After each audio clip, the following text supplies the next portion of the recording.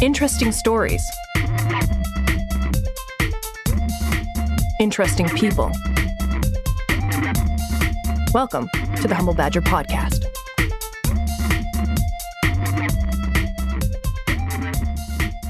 Thank you for listening to this podcast today. You could support the podcast at The Humble Badger on Twitter and Facebook, or at The Humble Badger Podcast on Instagram. This episode is brought to you with the help of our promotional partners at the Studio Paint Bar, Mississauga's first and only premium paint and wine bar. Find out more at studiopaintbar.ca. My name is Pablo Dassen. I am a dramedian and a local D-list celebrity and the host for this episode. We start every episode with some kind of random information or maybe a thought that popped into my head or sometimes a question online. And one of the questions we got online, I'm not sure if this person had the uh, the right venue uh, to discuss this, but I thought it was an interesting topic. So let's bring it up. It's new homes, new houses, the average house price. I mean, it is just increasing and increasing everywhere in Ontario. In Mississauga, in particular, the 2019 medium home price was $685,000. And it has become unaffordable for most people. But a lot of people uh, have said that, you know what, I really don't care about getting into a new house. I like the house I'm in. I'm certainly in that camp. I'd love to know what my co host thinks. Yeah, you know what? I think millennials always want new things and they have to have everything of the best. And it wasn't like our parents who just went into the market and bought what they could afford. Uh, everybody wants what they can't have nowadays and everyone has to look a certain way. So I would agree with that statement. Uh, I'm just happy that I bought my tiny box of a condo in 2016. Uh, For 685000 Not even close. I thought I overpaid then and now it's doubled. So No, it's, well, see, there you go. I mean, and again, not to paint all millennials with the same brush because I don't think that that's fair. But I do. I, I, hi, hi, guys. And just so you know, I'm an entertainment journalist, a comedy writer, a podcast extraordinaire, and a fast pitch softball champion, the Electric Lynx, um, LK. LK, yes, uh, you can check her out at the Electric Lynx on Instagram or the Twitter account she created this morning. Okay, you're new to social media, I though, am right? very new. There's not a lot of content, but please feel free to look me up and uh, add me. Yeah, Uh, we and make sure you do that. And another person that you should add is someone who also knows a thing or two about new houses. Hello, I'm Carla Gonzalez Casanova, and I'm very happy to be here. Thank you so much for having me. And thank you for being here. Yes. What do you think about uh, new houses and the house prices that are going up in Mississauga? I'm gonna throw you off a little bit in Okay. the sense of um, I think your home should be your own self first. Oh, Mhm. nice. And uh, once you have that and you're comfortable in your own home, meaning your body and yourself, Mhm. then you can live anywhere and be happy. So, Oh, I'm very comfortable with my body. yeah, good. Um, a lot of other people say I shouldn't be, but uh, you know. if you love you, that's great. Oh, I yes, I love myself um, Um, a lot. If you can't love yourself, how in the hell are you going to love someone else? I agree. Can I I get an amen up in here? Amen. Yeah, you have to be. See, Yeah. she's dropping uh, notes of wisdom, so um, that is for sure. And Carla Casanova, Yes. you are a musician and an artist. Uh, tell the people a little bit about what kind of genres of music you play, what instruments you play, and um, and about your art a little bit. Okay, so on the music part, I play the instrument of vocal cords. And, uh, Hey, it's an instrument. It's a Yes. thing. Hundred percent, it's an instrument. You have yeah. to be very careful and take care of them Mhm. very much like an instrument. And I sing all kinds of music, all kinds. I have um, one band called Latin Train. We do Latin music or merge English, you know, mashup. Mhm. And then I have another band called Souladikts, which means addicted to the soul. Mhm. And that band is uh, original music, and I work with Charlie Paris, and that's uh, Chapa. That's that's it for music. Then for arts, I like all kinds of arts too, and Mhm. I went to school here in Toronto. That's how I came to Canada, by the way. Oh, And then um, I love all kinds of arts. I love drawing mostly, and I teach as well. So Oh. yeah, Wow. nice. Well, you're an, uh, I, I want to say a Renaissance woman. Yeah, 100%. And, I- and of course, I do graphics. So that's it. Oh, no okay. more. I think I don't have any more secrets. I love. oh, we're gonna uncover those in this episode. We'll episode uncover if those, you yes. do. Don't worry. If not, for then it. we'll put it on Badger After Dark. Oh, that's okay. Yeah, That's a special episode. Yeah. So you've been playing music for forever. forever, Forever. since Yeah. you were a child. She came out of the womb Yeah. just playing g- Yeah. guitar or something. You must have played lots of venues around Mississauga then. Yes. What's uh, your What's one of your favorite venues to play and why? Mm-hmm. Mississauga? I love playing outside festivals. So Mhm. I've been at the city, uh, Mississauga City Hall, like uh, I don't know, celebrations where they call Yeah. it now. In my times, they call it just City Hall.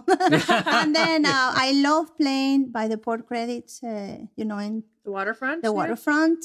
Um, I play big festivals. I also like to just play randomly where I'm allowed, uh, out of the blue, and I enjoy Okay. people uh, watching and enjoying and dancing and singing with me. Yeah, So, her band was yeah. just on my street the other day. Just they just picked up and you know were performing randomly. Party time. Yeah. Yeah. it drove our house prices up by like ten thousand dollars. It was nice. that Wait, will when- be great contract. Yeah, when that. Yeah, so House yeah, prices haven't gone through the roof already. Just That's right. call our band up to play a block party. exactly. Right? Do it. Do it. Do it. So Carla, um, you sing both in Spanish and in English. Yes. Um, is there one that you're more comfortable in, or is there one uh, language that you prefer to sing in? Let's put it this way: if you want to say things straight up, use English. if you want to like make them romantic and different and difficult and passionate, use Spanish. That's how I see it. Yeah. I see. Okay. Yeah. So um, I guess uh, when you do your songwriting, Mm-hmm. you th- that factors in. Actually, most of our songs for the original are uh, uh, Spanglish. So, Okay. meaning the song uh, will be a line in Spanish and the same thing, but in English, kind of so people can get the feel of what we're trying to say. hmm Even though these days a lot of people speak Spanish, but uh, not everybody. Okay. Yeah. Yeah. Do you remember writing your first song and what that song was about? Yes. It was about cheese, wasn't it? Of course, it's about the big topic, love. Oh. and So it was- cheesy love. That's the universal Yeah. Language. Yeah. I love cheese. I yeah and it was about uh, accepting people as they were otherwise you can't love them and you just walk away So you just kind of have to take them for yeah, who they for are. who they are how complex they are how much of a labyrinth they will, may be Yes. but uh, that's fine if you don't like it move on and if you like it then take the labyrinth That's and- right. How old were enjoy you when you wrote that song? i don't remember It was- Teenager? yeah a teenager young, yeah, yeah, yeah. young love. young love yeah yeah. I wrote about cheese when I was like 12. oh wow Yeah. I never recorded it though, thankfully. So how would you describe your sound, Carla? sound Yeah. Um, it's uh, if you put a bunch of sounds in a blender and then you blend them, that's it. It sounds like a uh, margarita. what, that, what are the those idea. sounds that you blend in though? So uh, There's a bit from where I come from Venezuela, so there's a Mm. lot of uh, tropical vibe to it, but at the same time, there's a lot of influences of rock. So then it's it's a merge. So I Mhm. wouldn't go with one of the other or the other. I have not tried screamo. That's the only Oh, style I haven't. but the other ones I have. So I love every kind of music, and mm, as long as you don't hurt yourself singing it, that's I've tried it. Hurt yourself singing it. Oh yeah, if you do screamo band, Oh. Oh, yeah. you and can you're- you ask can Matt actually Sadie about that. hurt your vocal cords? yes, you Yeah. can. Well, I, I just thought there was other clumsy musicians, you know, like uh, I I would pull a muscle like walking up to the mic, that kind of thing. So I thought it was like that. No, you don't. You're really good with the mic. Well, it, this is a, a fun, you know, I'm going to reveal something here that a lot of people Oh. don't know because um. I posted a photo of myself at an event uh, the other day, and one of the people uh, who happened to be a performer at that event uh, messaged me and he says, Why does it look like you have a death grip on the microphone? And, Oh my and the truth is, the reason why I do that is because I actually have arthritis in my fingers. Oh. So I hold it tight because I'm afraid it's just going to Drop Oh. uh, if I don't, which would be very embarrassing if you're the uh, MC of an event Yes. and the mic drops uh, because that that's you know everybody wants to do the mic drop, but if you do it in Yeah. that way, it just you- looks incompetent. You, want so to do it intentionally. yeah, yeah. So I, I definitely, um, you know, I have a death grip on the mic. So Carla, you do all of these things. You know, you you you sing and you do art, and um, how do you unwind then? How do you how do you relax? by doing more art and more singing. yes, I don't have. I I have to confess that's my Achilles heel. I don't know how to relax, so I just keep enjoying whatever. I, Mhm. I mean, the reality is that relax for some people is different than for others. Maybe Right. I came without that of like just being on a couch or sitting. I don't do that. That But stuff. so when you go on vacation, for example, like uh, you're still pl- uh, doing art and you're doing music. I will take my sketchbooks and I'll just Ah. walk around the beach, find a cool spot um, Mm. to sketch at. And Yeah, I just hit the buffet, but you can know that by you just can sketch at the me. buffet too. I- I yeah. like sketching the buffet. yeah, I'd be too busy. I, I like the swim up bar myself. The but- swim up bar, yes. Oh, that's a good one. Yeah, Mhm. yeah. for Yeah, sure. I'm not. I'm not as much of a fan of the of the swim up bar. I mean, I guess it was a novelty the first time, but after that, it was it was pretty much fine. But you perform mostly in and around uh, Mississauga. And by the way, if you want to check out her band, um, go to little, littleundergroundsound.ca, and Latin Train is right in front. Yes. Yeah. Great. Okay, well, I think it's time for some rapid fire. You're just excited to get to rapid fire. I okay, think let's uh, let's do it. Carla, do you remember how this works? Sort of. I'm gonna ask my friend here, the Tejon, to help me out. The Okay. tejon, which is Spanish for Badger. badger, and it sounds so nice, doesn't Yes. it? Tejon. And for the little badgers and badgerettes at home right now that can actually see what's happening, Carla has um, co-opted to use our badger mascot to Yes. help her along the with way. rapid fire. with rapid fire. Because it- they're gonna answer it. No. yeah, but I, I can tell you that uh, they, you know, that badger's not going to be of any help. But let's get started. Let's see. okay, are you ready, Carla? yes. okay I Okay. hope. okay, here we go. Yeah. Starting now. Mhm. Bath or shower? Shower. Oh, oh, shower, hundred percent. Does anyone take baths anymore? Does anyone have time? I actually do take a bath now and again when I'm feeling sick. Yeah. yeah, but that's You know, I just want to warm up and I'm feeling Yeah. terrible. I'll get a glass of wine and just sit in the bathtub Yeah. and Yeah. uh, yeah, it's healing. I we don't shower. even have a bathtub. I mean, I could lie down in my shower, I suppose. Yeah, you can. It yeah. seems like a defeated scene in a movie where someone's laying in the shower. Yeah, that's what I'm saying. I- Crying the I don't even have- I don't No, think 'cause you we should have a- do that, Pablo. Just, just we have, a a stand up. We have a stand up uh, shower. That's why. Um, do you prefer to dine out or get food delivered if you were ordering outside? Definitely out. Oh yes, Yes. yes, yeah. Yeah. We're of the same mind there. As people know, I uh, one of the things I do feature on um, my personal site, which you can follow at pablodassen.com or at pablodassen on Instagram and everything else. Uh, you do see that I am a foodie and I do promote restaurants, uh, especially when they have good food. Uh, I'll promote you if you don't have good food, but that costs more. Uh, Okay.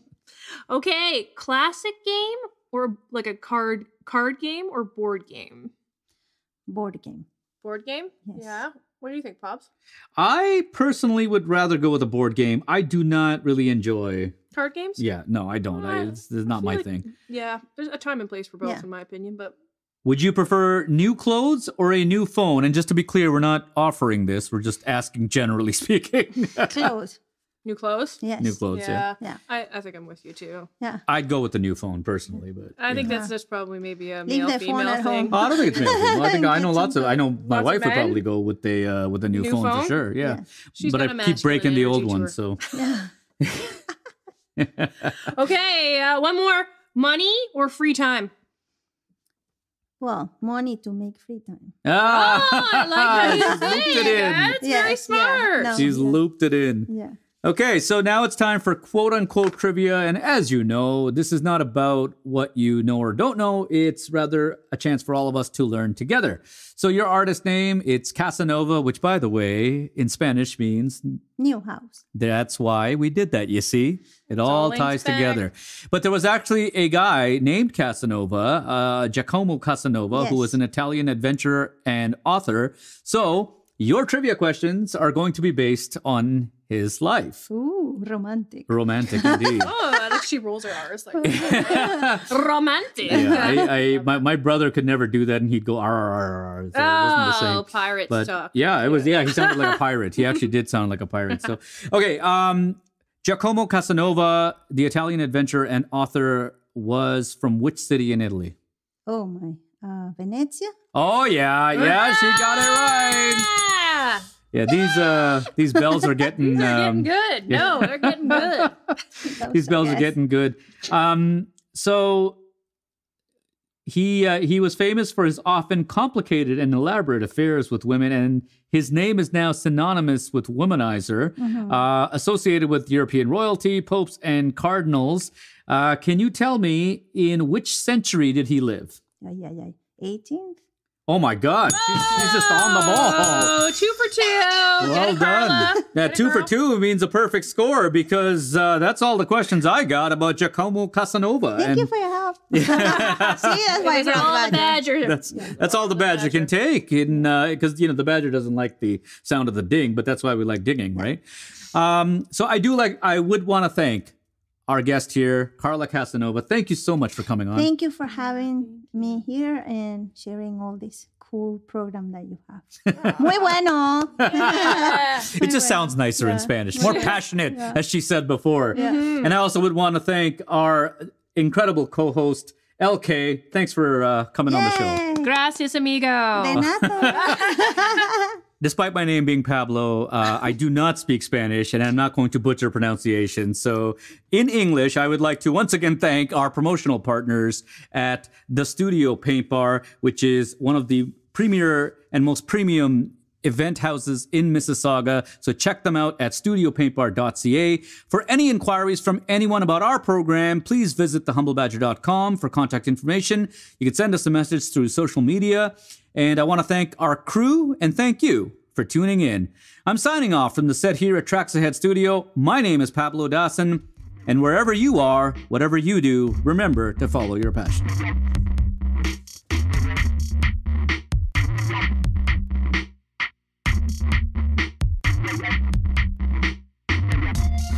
For tuning in to the Humble Badger podcast. For more information, please visit thehumblebadger.com. The Humble Badger podcast is produced by the Pablo Dassen Company. Context matters. See you next time.